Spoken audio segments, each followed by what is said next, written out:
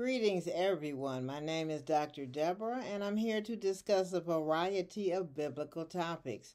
My smile is different today, but I am still smiling. I will be discussing 12 black tribes in the Holy Bible.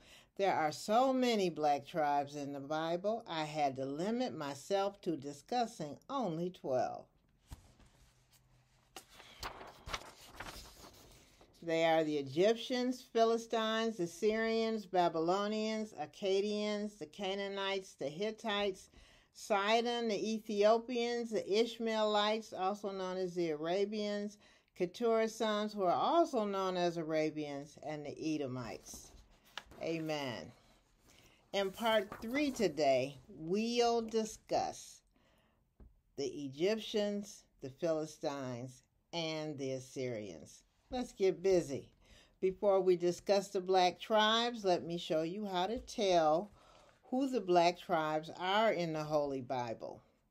All black people are descended from Ham, who may be the first black man in the Holy Bible. Tribes of Hamites, also known as black men, ruled the civilized world during the Old Testament.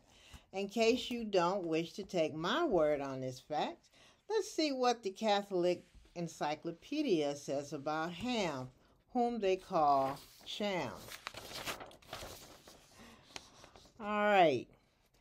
The natives and tribes which descend from Cham are enumerated in Genesis 10 6 through 20. They are divided into four great families Chus, Mesraim, Phuth, and Canaan. The Cushites are found in the valleys of the Euphrates and Tites, Tigris, in Arabia and also in Africa. Mizraim is Egypt, Phuth, less known, seems to have occupied regions west of Egypt, particularly Libya. Shaman comprised the numerous tribes whose country was subsequently occupied by Israel.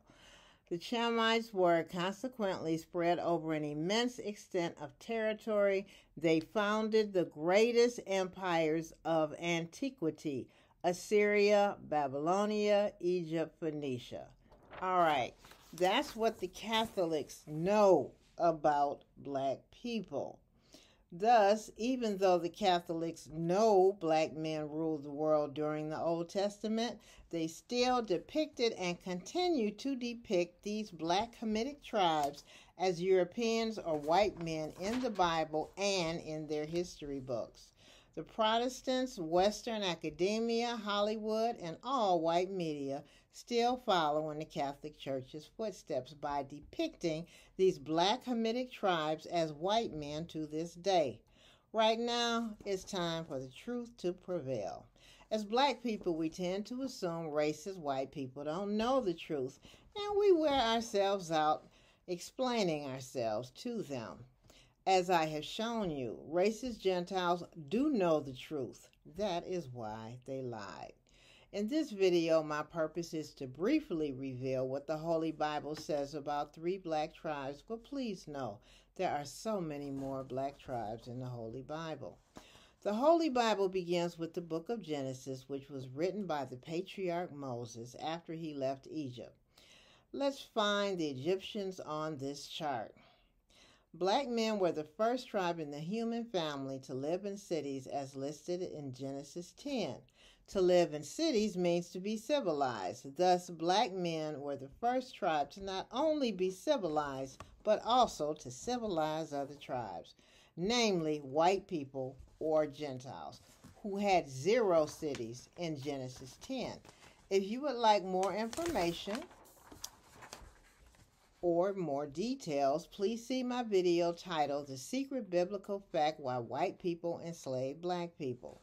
Before he left Egypt, the patriarch Moses was taught to read and write the Egyptian language we call Hebrew, and he was taught by the Egyptians, who had learned it from another black tribe called the Canaanites.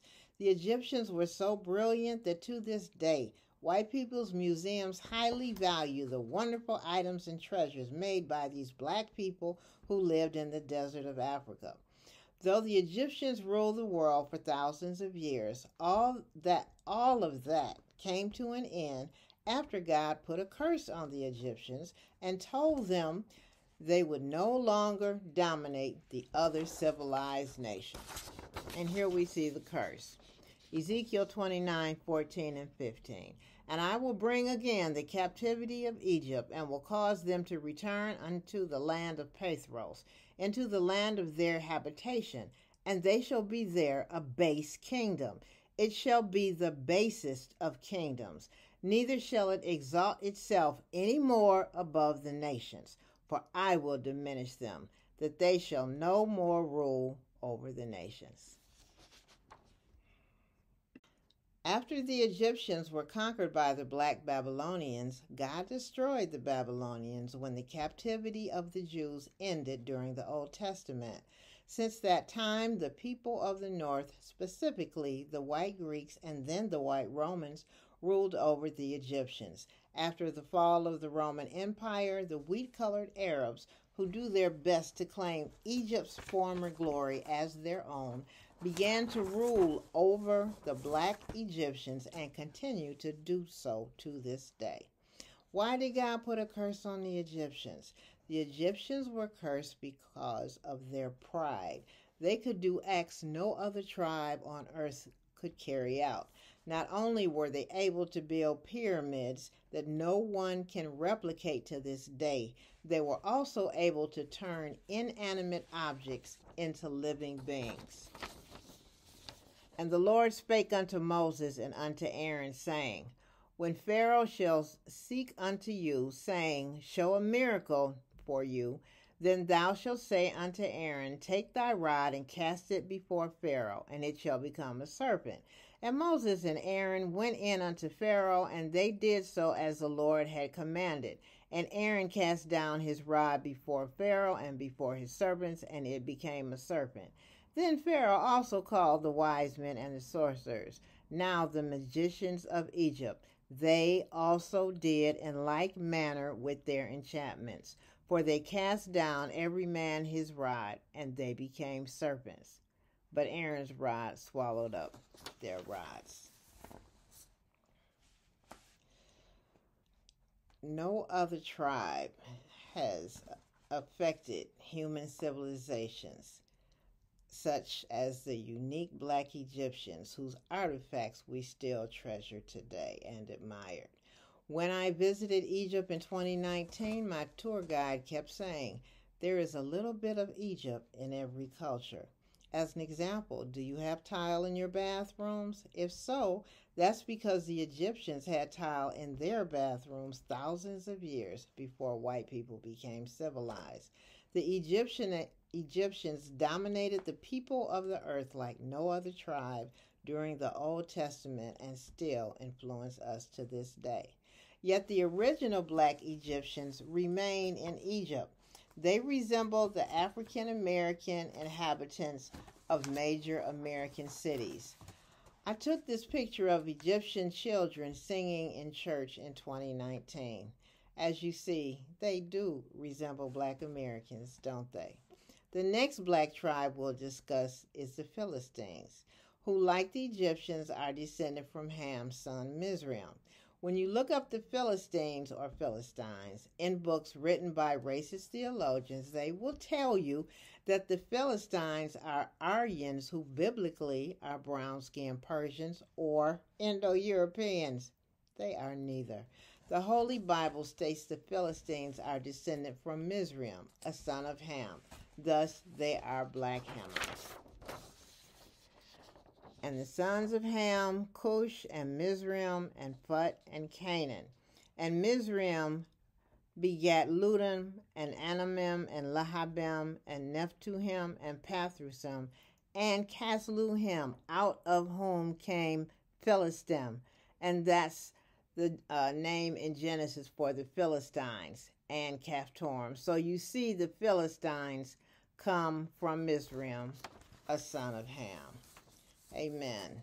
Sometimes referred to as Philistines, the black Philistines, which means rollers, lived in the land of Philistia, or as we say, the Greek version of Philistia, which is Palestine. Their land was on the border of the land of Israel, but they inhabited areas of Canaan too, even though the Philistines were not Canaanites. The Philistines were a superstitious and warlike tribe who controlled the sea. They smelted iron in furnaces, forged iron, used iron rimmed chariots, and had iron swords. As I have stated in other videos, black men were the first men on the planet to use iron after the Great Flood. The term blacksmith refers to the first black men in Europe who created iron objects for white people. In addition to Delilah, who is the most famous Philistine woman, we have Goliath, who is the most famous Philistine man. Goliath was wearing iron when he confronted the Jews in 1 Samuel 17:4. And there went out a champion out of the camp of the Philistines named Goliath of Gath, whose height was six cubits and a span. And he had a helmet of brass upon his head, and he was armed with a coat of mail, and the weight of the coat was five thousand shekels of brass. And he had greaves of brass upon his legs, and a target of brass between his shoulders. And the staff of his spear was like a weaver's beam, and his spear's head weighed six hundred shekels of iron, and one bearing a shield went before him. And he stood and cried unto the armies of Israel and said unto them, Why are ye come out to set your battle in array? Am I not a Philistine, and ye servants to Saul? Choose you a man for you, and let him come down to me. I guess you know how that conflict with David ended. I guess you know, I'm sorry. However, the Philistines were not just warriors and blacksmiths. They also practiced voodoo and soothsaying, according to Isaiah 2 and 6. The relationship of this black tribe with the Jews did not begin with Goliath versus David. It actually began with Abraham, who peacefully lived among the Philistines in Genesis 21 and 34.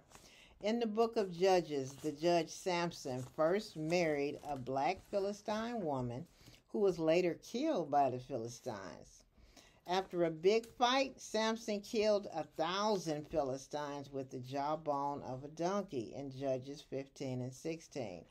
After Samson met Delilah, the situation went downhill, and Samson ended up as a blind captive of the Philistines. Still, Samson killed more Philistines at his death than during his lifetime. The Philistines remained a rowdy bunch who actually stole the revered Ark of the Covenant from the Jews. These black people were the only people on the planet who actually took the Ark from the Jews in 1 Samuel, and some of them even looked into the Ark. Israel had been fighting against the black Philistines, but the Jews had already lost 4,000 men. Because the Philistines brought their idols with them into battle, some Jew had the bright idea to bring the Ark of the Covenant, along with Eli the priest, two wayward sons, onto the battlefield. And this is what happened.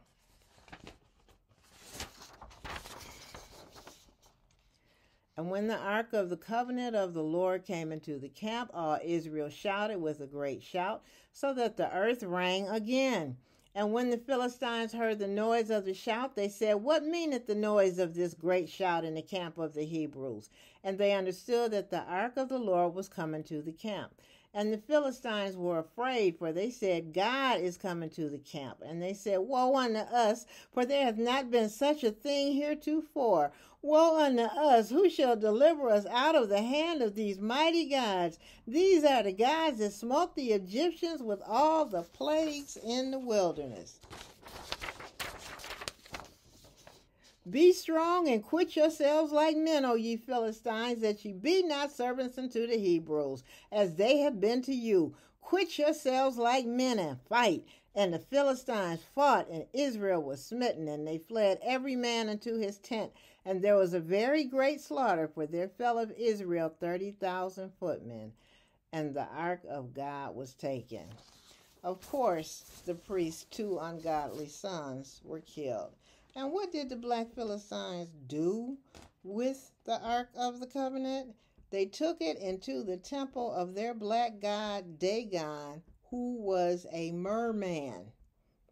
Whenever you buy a cup of coffee from a nationally known chain, you'll see a drawing of Shalash, who is Dagon's mermaid wife, but she will be white instead of black like her husband Dagon.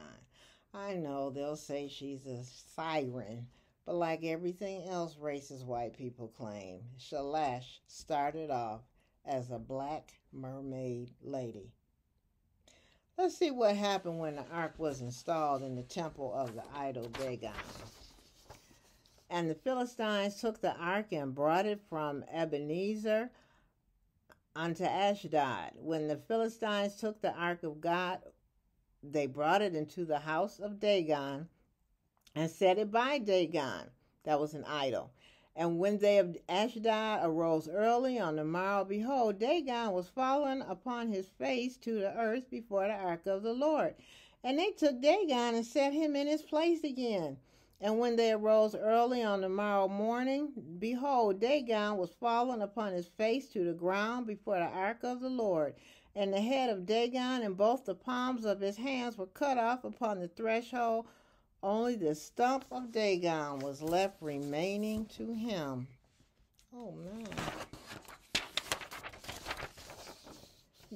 Therefore, neither the priests of Dagon nor any that came into Dagon's house tread on the threshold of Dagon and Ashdod unto this day.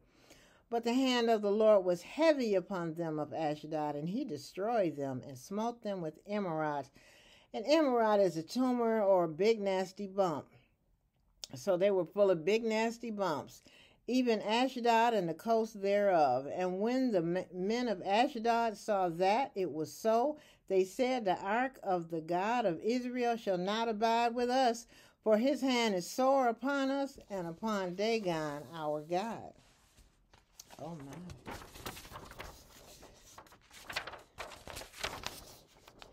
They sent therefore and gathered all the lords of the Philistines unto them and said, What shall we do with the ark of the God of Israel? And they answered, let the God, let the ark of the God of Israel be carried unto Gath. So they sent it to some other Philistines. and they carried the ark of the God of Israel about thither. And it was so that after they had carried it about, the hand of the Lord was against the city with a very great destruction. And he smote the men of the city, both small and great, and they had emerods, big nasty bumps, in their secret parts. Oh my. Therefore, they sent the ark of God to Ekron. Okay, so they're moving this dangerous, destructive ark around to different groups of Philistines. And it came to pass as the ark of God came to Ekron that the Ekronites cried out, saying, They have brought about the ark of the God of Israel to us to slay us and our people. So they sent and gathered together all the lords of the Philistines and said, Send away the ark of the God of Israel, and let it go again to his own place, that it slay us not and our people. For there was a deadly destruction throughout all the city the hand of God was very heavy there. And the men that died not were smitten with the emerods, and the cry of the city went up to heaven. Either they were dead or they had big nasty bumps in their private parts. Oh my. The Ark of the Covenant was in possession of the black Philistines for seven months, according to 1 Samuel 6 and 1.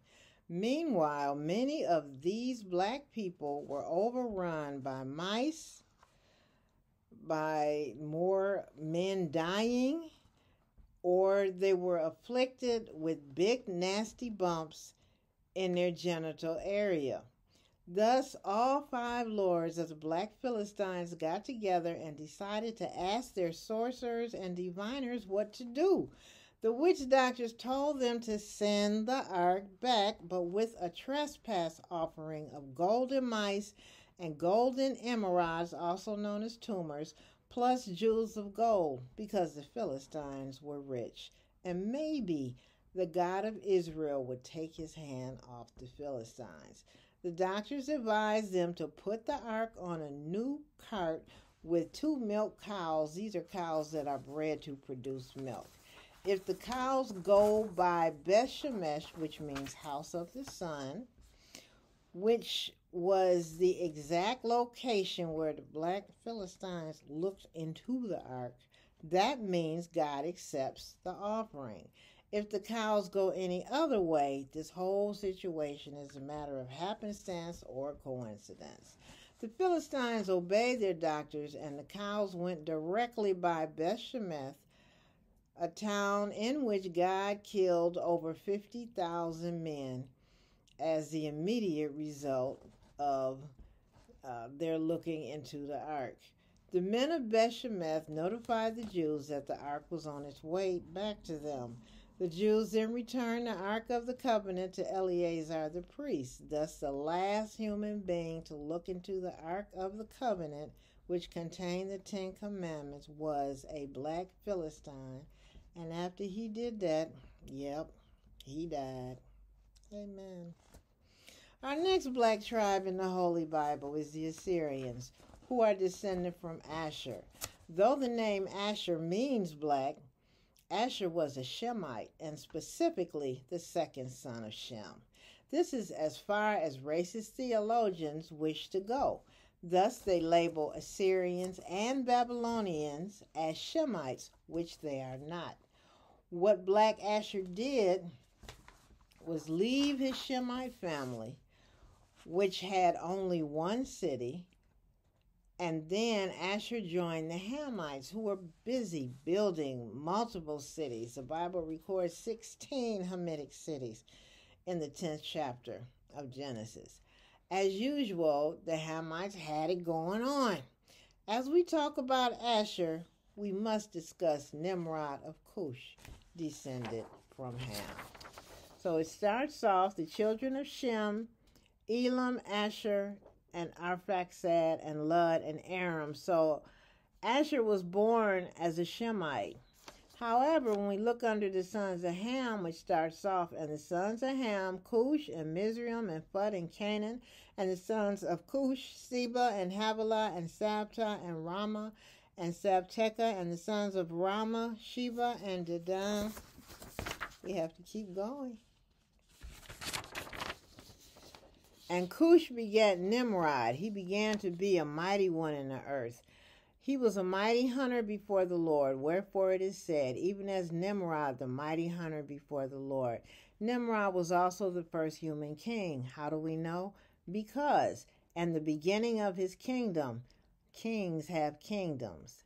And the first kingdom was the kingdom of Nimrod, who was the first king was Babel and Erech and Akkad and Calneh in the land of Shinar. Shinar is Babylon.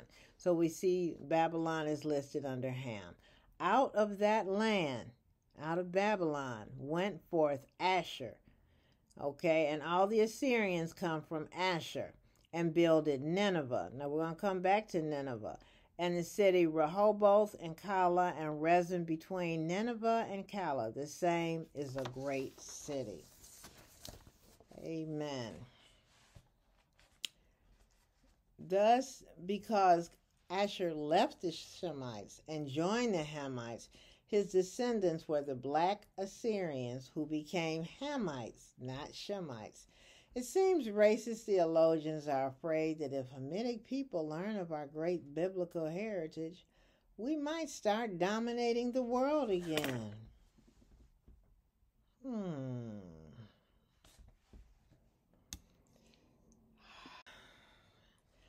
Like the Egyptians and the Philistines, the Holy Bible contains hundreds of references to the Hamitic Assyrians. The Egyptians, the Assyrians, and the Babylonians dominated the ancient world during the Old Testament. Even Western history records the most famous black Assyrian king, whose name was Hammurabi. He created a code of civil laws which are studied by white people down to this day. After the 12 tribes of Israel split into the two tribes of Benjamin and Judah versus the 10 tribes who were also known as the Black Samaritans, because these Jews had intermarried with the indigenous black Canaanites, the black Assyrians kept kidnapping the Samaritans while simultaneously moving into their land. The scriptures record an Assyrian solution to a Jewish problem in 2 Kings 17. For the children of Israel walked in all the sins of Jeroboam. Jeroboam was uh, he was the 14th king of uh, Israel. They departed not from them until the Lord removed Israel out of his sight, as he had said by all his servants the prophets. So was Israel. Now, Israel here means the Samaritans, also known as the ten tribes carried away out of their own land to Assyria unto this day. And the king of Assyria brought men from Babylon. Now, all of these uh, places are Hamitic cities, and from Cutha, and from Ava, and from Hamath, and from Sepharvaim, and placed them in the cities of Samaria instead of the children Israel. And they possessed Samaria and dwelt in the cities thereof. And so it was at the beginning of their dwelling there that they feared not the Lord. Therefore the Lord sent lions among them, which slew some of them. What was the Assyrian king's solution to the problem of the hungry lions?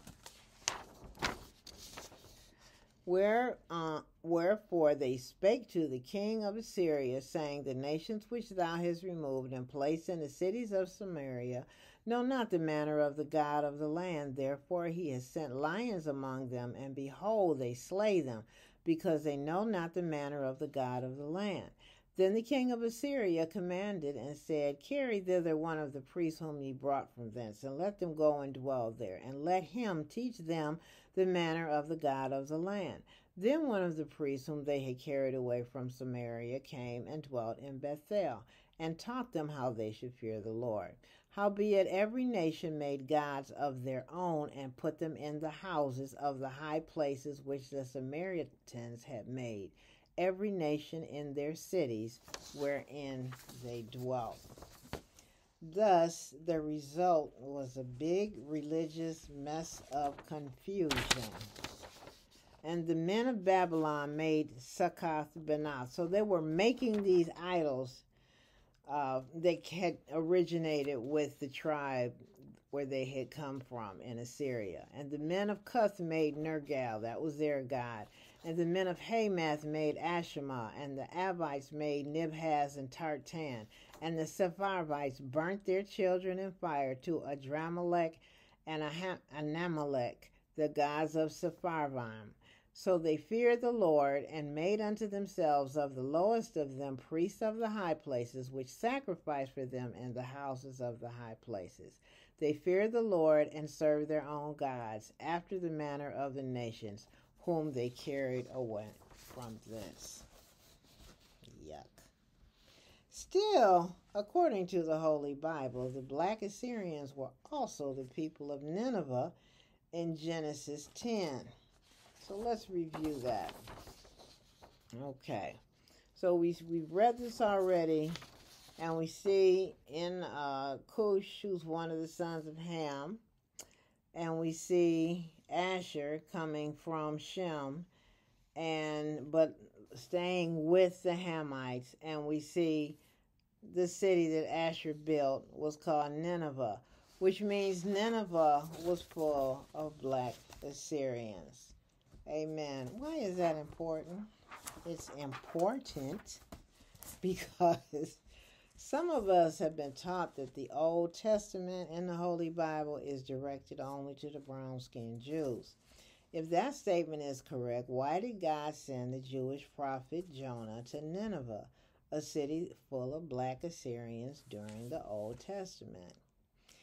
Now, in some of my other videos, I called Jonah a racist because he did not want to deliver God's word to a bunch of black people. Let's see what the Bible says in Jonah 1 and 1. Now the word of the Lord came unto Jonah, the son of Amittai. Now Jonah means dove, and Amittai, his father, his name means truth, saying, Arise, go to Nineveh, that great city, and cry against it, for their wickedness is come up before me. But Jonah rose up to flee unto Tarshish from the presence of the Lord, and went down to Joppa, and he found a ship going to Tarshish.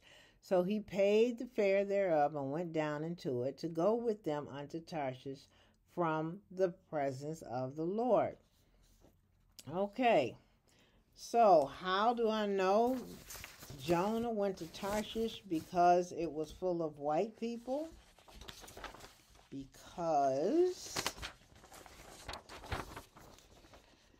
okay, these are the generations of the sons of Noah, who are Shem, Ham, and Japheth. Unto them were the sons born after the flood. Now, the sons of Japheth were who we call white people. Gomer, that's Germany, and Magog and Madai, those are the Medes, and today the Medes are called the Kurds. And Yavon, that's Greece, and Tubal and Meshech and Tiras, and the sons of Gomer, Ashkenaz, that's the father of the Ashkenazi Jews, and Riphath and Togarmah, and the sons of Yavon, again that's Greece, Elisha and who? Tarshish. Okay. So ancient people often name cities after a patriarch. So Jonah knew that if he went to Tarshish, and if you want to see that one more time, here we go. He went to Tarshish, Tarshish, Tarshish. Yes because it was full of white people. And he thought that he would be far from the presence of God if he got away from those black people. Let's see how it worked out for him. However, as mom used to say, Jonah had another thought coming. So the Lord sent out a great wind unto the sea, and there was a mighty tempest in the sea, so that the ship was like to be broken. Then the mariners, that's what the sailors were called, were afraid and cried every man unto his God and cast forth the wares.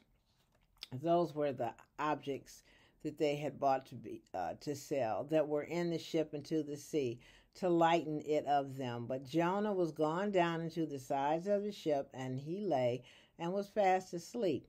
So the shipmaster came to him and said unto him, What meanest thou, O sleeper? Arise, call upon thy God.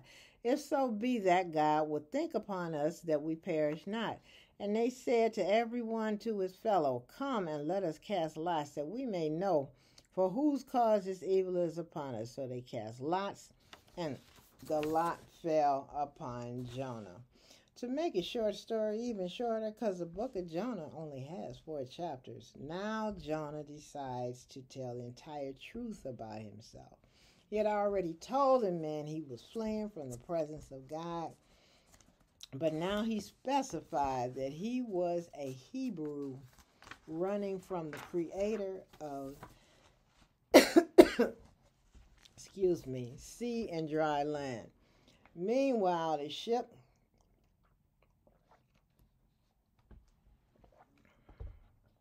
continued to rock on the violent waves and is jolted under the mighty wind. Jonah tells them to throw him into the sea, but they really don't want to do that. They try rowing to shore, but no progress is made. So the mariners beg God not to punish them for throwing Jonah overboard. Then they do just that. Instantly, the sea is calm which scares the stuffing out of the men who offer sacrifices and vows to God. When you're not saved, but God answers your prayer, it is truly terrifying, especially when you are living a sinful life. God has something for Jonah, specifically a huge fish which is not ever identified in the original languages of the Bible as well. Thus, hard headed, racist Jonah sits in the belly of the huge fish for three days and three nights. Finally, Jonah prays to God and mentions the weeds wrapped around his head. He repents, and God has the big fish vomit Jonah onto dry land. God repeats his directions to Jonah. And the word of the Lord came unto Jonah the second time, saying, Arise, go unto Nineveh, that great city, and preach unto it the preaching that I bid thee. So Jonah rose and went unto Nineveh, according to the word of the Lord. Now Nineveh was an exceeding great city of three days' journey. And Jonah began to enter the city a day's journey. Jonah was running really fast. And he cried and said, Yet forty days, and Nineveh shall be overthrown. Well, what did those black Assyrians living in Nineveh do when they heard the preaching of the brown skinned racist Noah, Jonah? So the people of Nineveh believed God and proclaimed a fast and put on sackcloth. Sackcloth is a really rough, cheap cloth that is used for um, like burlap. From uh, the greatest of them even to the least of them, for word came unto the king of Nineveh, and he arose from his throne, and he laid his robe from him. Since he was a king, you know, he had an elegant, sharp robe.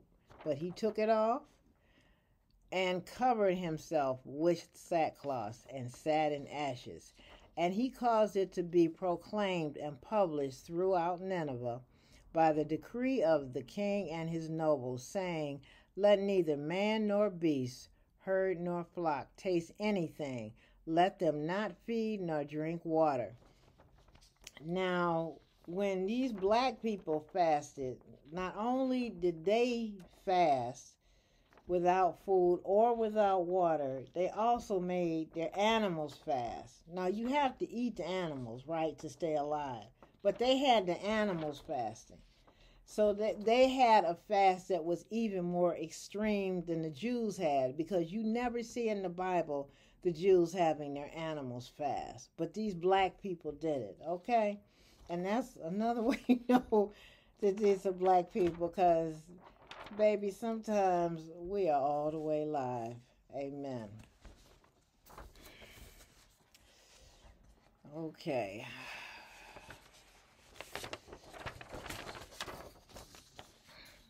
But let man and beast be covered with sackcloth and cry mightily unto God. Not only were their beasts fasting, but they put sackcloth on the beast, and the beast don't even wear clothes. Okay? Yea, let them turn every one from his evil way and from the violence that is in their hands. Who can tell if God will turn and repent and turn away from his fierce anger that we perish not? And God saw their works, that they turned from their evil way, and God repented of the evil that he had said that he would do unto them, and he did it not. Now you would think that after all this, Jonah would be meek and humble, but no. That brown skinned racist Jonah still had that foul attitude, and he was very angry to the point of talking suicide.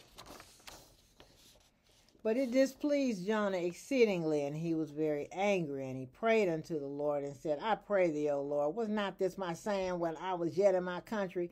Therefore I fled before unto Tarshish, for I knew that thou art a gracious God and merciful, slow to anger, and of great kindness, and repented thee of the evil. Therefore now, O Lord, take, I beseech thee, my life from me, for it is better for me to die than to live. Now, Jonah had wanted to die, he'd have crawled on back up in that fish after he vomited him out, but he didn't do that. any. he, was just talking a lot of junk. Okay? Jonah was just talking junk. So if you want the details, read the last chapter of the book of Jonah. Still, God has the last word regarding the black Assyrians of Nineveh. And should I not spare Nineveh, that great city, which are more than six score thousand, that's 120,000 persons, that cannot discern between their right hand and their left hand, and also much cattle? See, the black Assyrians did not have access to Old Testament law or to the prophets that the Jews did. Thus, God had a more merciful attitude towards them. Now, in the New Testament, Jesus mentions the black Assyrians of Nineveh in Matthew and in Luke. Then certain of the scribes and of the Pharisees answered, saying, Master, we would see a sign from thee. But he answered and said unto them, An evil and adulterous generation seeketh after a sign, and there shall no sign be given to it but the sign of the prophet Jonas. For as Jonas was three days and three nights in the whale's belly, so shall the Son of Man be three days and three nights in the heart of the earth. The men of Nineveh shall rise in judgment with this generation, and shall condemn it, because they repented at the preaching of Jonas. And behold, a greater than Jonas is here. And we see similar words in Luke. And when the people were gathered thick together, he began to say, This is an evil generation. They seek a sign, and there shall be no sign given it, but the sign of Jonas the prophet. For as Jonas was a sign unto the Ninevites, so shall also the Son of Man be to this generation. And as in uh, Matthew, Jesus uses black people as a good example to his chosen people, the Jews. Here's another black person. The queen of the south, that's the queen of Sheba, shall rise up in the judgment with the men of this generation and condemn them, for she came from the utmost parts of the earth to hear the wisdom of Solomon, and behold, a greater than Solomon is here. Then Jesus mentions the men of Nineveh again. The men of Nineveh shall rise up into judgment with this generation and shall condemn it, for they repented at the preaching of Jonas, and behold, a greater than Jonas is here. Now, why did God send a Jewish prophet to black Assyrians, but not to any white people on the planet? That's God's business. Amen. Thank you for listening. You like my information, my Facebook page is Dr. Debra 7 p.m. S A T E S T. My YouTube channel is The Gospel of the Kingdom, period. My webpage is drdebrabooks.com. And if you would like to contribute to my GoFundMe page, the name of it is Publish the Black Sons of Abraham please subscribe to my YouTube channel or follow me on my Facebook page. Amen. That way you won't miss a single video. Please like, share, and make comments on these videos, especially if you learned anything from the scriptures. For any of my four free books titled How to Read the Bible, it's only 19 pages or the gospel of the kingdom and this is a catechism of question and answer regarding the kingdom that Jesus preached. So if you want more information or if you want a relationship with God, like the people in the Bible had, just read this free book and follow the instructions. And another book that I have written, Time Out for the Reprobate Saint, if you don't understand evil people in the church and uh, you want a great understanding of the different types of people in the church, you can download this free book. The artwork is by the late Eric Dinkins and Ariel Echevarria. And The Black Sons of Abraham is the book that I want to have published. I also want to have it edited, and I have a lot of color pictures in it. And uh, it's about um, uh, Abraham, who is pictured here after Sarah died in Genesis 25 1 and 2. He marries a black woman called Keturah, and he has six sons. So this is Ishmael over here. uh, Abraham's son by the black Egyptian woman Hagar, and these are his six sons by Keturah, another black woman. So I traced them through the Bible, and then I included all the men in the Bible who are mixed with Jewish and Hamitic blood.